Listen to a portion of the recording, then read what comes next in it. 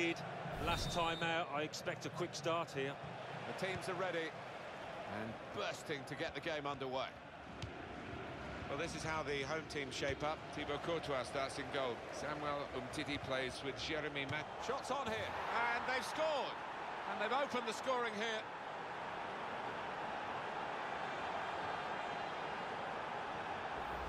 Well, looking at the replays, the keeper's hardly ever in shot. He's so far away from his base, and uh, the scorer couldn't have had a simpler task. That's right. Not many